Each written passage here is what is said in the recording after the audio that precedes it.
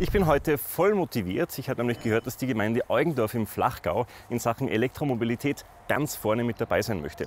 Das schauen wir uns heute an. Angeblich gibt es dort Elektrotransporter, Elektroautos, die sich die ganze Gemeinde teilt, superschnelles Aufladen und das alles mit sauberem Strom aus der Gemeinde. Klingt fast zu schön, um wahr zu sein, oder? Hm.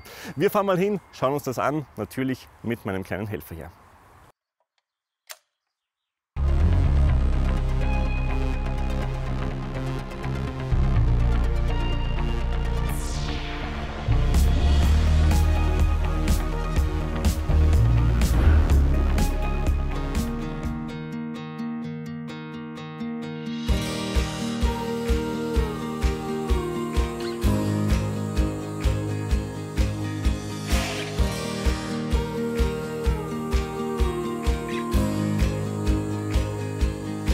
So, wir sind jetzt in Eugendorf angekommen und habe da gleich den Bürgermeister und den Vizebürgermeister bei mir. Herr Bürgermeister, wenn ich mit Ihnen vielleicht einmal ganz kurz anfangen darf. E-Mobilität, ich habe schon angekündigt, ist in Eugendorf ganz groß geschrieben. Warum eigentlich? Ja, eigentlich schon. Also wir sind eine also wirtschaftlich sehr starke Gemeinde, haben natürlich viele Automobilfirmen da und wir schauen natürlich, dass wir da am Stand der Technik sind. Ich werde jetzt schauen, dass der Herr Vizebürgermeister mit euch Eigendorf anschaut und ich darf nur bitten, schaut, dass er nicht schnell fährt, weil die Autos gehen so gut, das ist echt der Wahnsinn. Wo ist die erste Station? Wo müssen wir als erstes hin, um Elektromobilität zu sehen bei euch? Schauen wir uns gleich die erste PV-Anlage an. Die ist gleich 40, 50 Meter gleich neben uns. Und das Bitte. ist wirklich geil. So spazieren wir ein paar Meter zur Mittelschule im Zentrum von Eugendorf. Die Schule hat eine große Photovoltaikanlage am Dach. Riesen PV-Anlage da mitten auf dem Dach. Was passiert mit dem ganzen Strom? Diesen Strom verwenden wir selbst äh, für die Bauhof Evitus, die wir gerade gesehen gehabt haben. Aber wir versorgen damit auch unsere Gemeindeeinrichtungen im Ortszentrum herinnen. Wir stehen da gerade inmitten dieser Einrichtungen. Wir haben im Hintergrund den Kindergarten. Äh, neben uns haben wir die Mittelschule, wir haben die Volksschule dabei, Kinderbetreuungseinrichtungen bis hin zum Bauhof und Gemeindeamt. All dies versorgen wir mit unserer PV-Anlage die wir hier am Dach der Mittelschule Eugendorf installiert haben. Die E-Vitus gerade angesprochen, ein Transportwagen eigentlich mit einem Elektromotor, mit einer Batterie drinnen. Funktioniert das? Ich glaube, für die Anwendung, was wir haben in Eugendorf, funktioniert das äh, ausgezeichnet. Man kann ein bisschen Vorbild sein mit, mit diesen Bauhoffahrzeugen. Die Strecken, die wir fahren, sind ja eher Kurzstrecken. Für das eignet sie sich sehr, sehr gut. Super, dann würde ich sagen, die probieren wir jetzt einfach mal aus rein in den Elektrotransporter und das leise Fahrgeräusch genießen.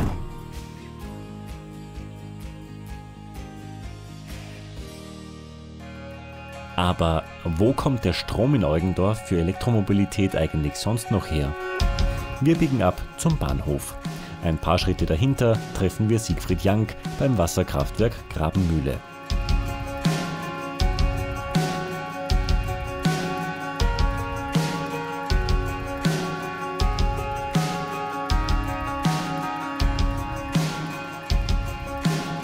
Ein wunderschönes Kraftwerk mitten in Eugendorf, ein bisschen versteckter unterhalb vom Bahnhof. Ähm, Frage 1, was ist das für ein Bach, der vorbeirinnt? Das ist die Fischach. Und wie viel Wasser rinnt da vorbei? Ja, die Fischach hat im Mittelwasser etwa 4 Kubikmeter pro Sekunde. Ja. Und mit dem Kraftwerk können wir bis zu 5 Kubikmeter pro Sekunde verarbeiten. Ja, und jetzt werden es ca. 2,5 Kubikmeter sein, was aktuell gerade laufen. Mhm. Was heißt das in Strom? Also die Währung für Strom ist Kilowattstunden. Ja. Wir können maximal bei dem Kraftwerk 117 Kilowattstunden elektrisch bei Volllast äh, erzeugen. Ja. Kann man das auch ungefähr auf ein Elektroauto zum Beispiel umrechnen? Ja, Wie oft kann ich meinen Akku damit aufladen? Ich habe gesehen, du hast ja auch ein Elektroauto mit. Genau, ja. ähm, das ist eine spannende Geschichte. Wir haben das wirklich mal ausgerechnet. Das hängt sogar hinten am Kraftwerk Schild. Ja. ja. Und wir können an diesem Kraftwerkstandard äh, Strom für zweieinhalb Millionen Kilometer mit dem Elektroauto pro Jahr erzeugen. Da gehen Sie ein paar Runden durch Eugendorf aus. Da gehen Sie ein paar Runden äh, durch Eugendorf aus, ja, genau.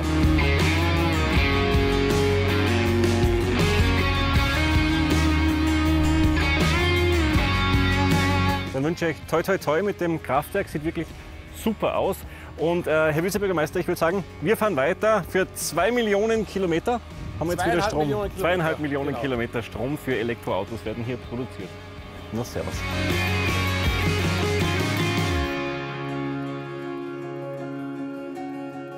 Im Kraftwerk Grabenmühle wird also Strom für Eugendorf erzeugt. Aber wie kommt der Strom aus dem Kraftwerk dann eigentlich ins E-Auto? Wir machen uns auf den Weg zum Einkaufszentrum und treffen dort Julia Seidel beim neuen Hypercharger.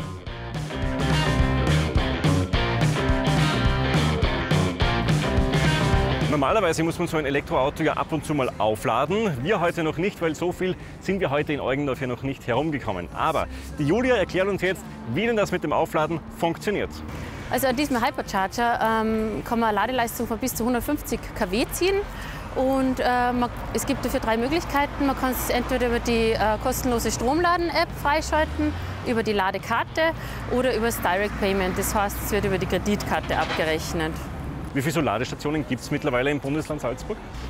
Also öffentliche Ladepunkte gibt es ungefähr 280. Die meisten davon sind mit einer Ladeleistung von bis zu 22 kW ausgestattet und der Rest sogar mit bis zu 150 kW, so wie es jetzt eben da in Eugendorf der Fall ist. Also der hat schon richtig viel Power. Jetzt gibt es ja von der Lade-App eine neue Version. Was kann die alles mehr wie die alte? Genau, so neu ist, dass man sie zu einem gewissen Ladepunkt navigieren lassen kann.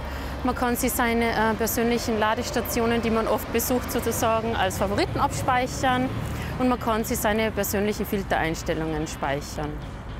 Wenn jetzt meine Batterie komplett leer ist, wie lange dauert es, bis ich wieder weiterfahren kann, bis die wieder voll ist? Also das kommt immer auf das Modell vom Auto drauf an.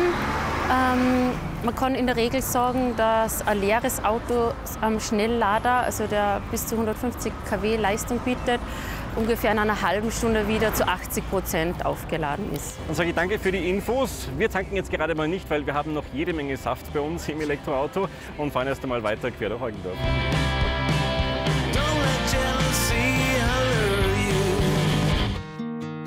Diesmal geht es in einen ruhigeren Teil von Eugendorf, eine Wohnsiedlung.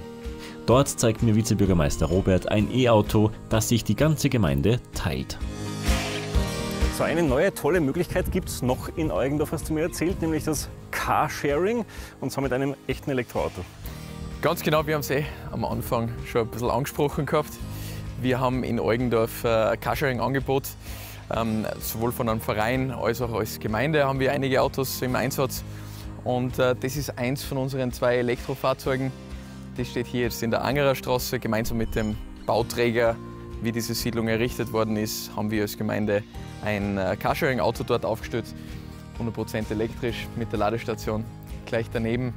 Für uns ein Pilotprojekt, um zu sehen, wie sowas angenommen wird und ob sowas bei uns am Land heraus auch eine Zukunft hat. Na sehr gut, dann wünsche ich euch toi toi toi alles Gute mit dem Carsharing und natürlich mit der ganzen Elektromobilität hier in Eugendorf. Wir haben heute viel gesehen. Wir waren auf den Dächern, wir waren unterwegs mit einem Elektroauto bei einem Kraftwerk, bei einem echten, das das hier alles ermöglicht. Ich wünsche euch toi toi toi, toll gemacht. Danke auch dafür, für die Einblicke, die ihr uns gegeben habt. Und wir sehen uns hoffentlich bald wieder, wenn es wieder heißt Elektromobilität am Punkt. Und jetzt müsst ihr es mir bitte noch zurück zu meinem E-Bike bringen. Aber liebend gerne, das machen wir. Herzlichen Dank. Danke.